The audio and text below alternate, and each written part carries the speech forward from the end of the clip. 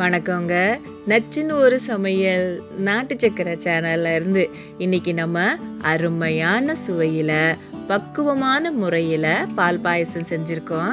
வாங்க அது எப்படி செய்கிறதுன்னு உங்களுக்கு நான் செஞ்சு காட்டுறேன்.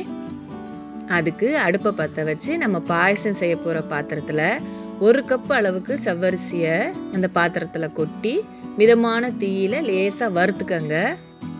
பிறகு நம்ம சவ்வரிசி எடுத்தோம்ல அதே கப்பில் நாலு கப் அளவுக்கு தண்ணி ஊற்றி சவ்வரிசி நம்ம வேக வச்சுக்கிறணும்.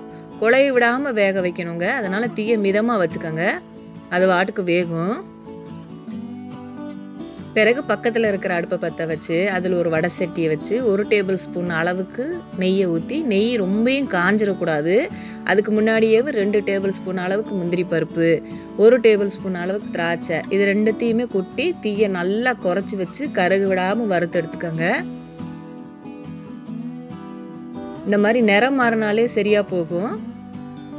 அவ்வளவுதான். இப்போ இதை வேற ஒரு தட்டில் கொட்டி தனியாக எடுத்து வச்சுக்கோங்க. இப்போ நம்ம முந்திரி பருப்பு வறுத்து வச்சுருந்தோம்ல அதில் மிச்ச நெய் இருக்கும் பாருங்க.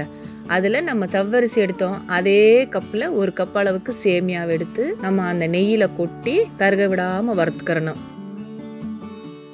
தீயை மிதமாக வச்சுக்கோங்க. இப்போ இது வறுக்காத சேமியாங்கிறனால நம்ம நெய்யில் வறுத்துக்கிறோம். வறுத்த சேமியானா நம்ம வறுக்க வேண்டியதில்லை. இப்போ இந்த பக்கம் பார்த்தீங்கன்னா சவ்வரிசி நல்லா வெந்துருச்சு.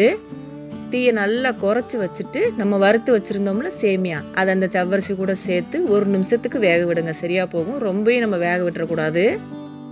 இப்போ அவ்வளவுதான். அடுப்பை அமர்த்தி விட்டுருங்க. அமர்த்தி விட்டுட்டு நம்ம சவ்வரிசி சேமியா எடுத்தோம்ல அதே கப்பில் ஒரு கப்பு அளவுக்கு சீனியை சேர்த்து நல்லா கிளறி விட்டுட்டு அஞ்சு நிமிஷத்துக்கு தட்டை போட்டு மூடி அது வாட்டுக்கு விட்டுருங்க. ஜவ்வரிசியும் சேமியாவும் அந்த சீனியை பூரா நல்லா உறிஞ்சிக்கிறோம்.